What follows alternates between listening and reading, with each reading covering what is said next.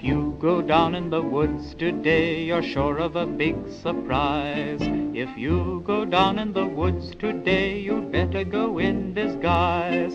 For every bear that ever there was will gather there for certain because today's the day the teddy bears have their picnic.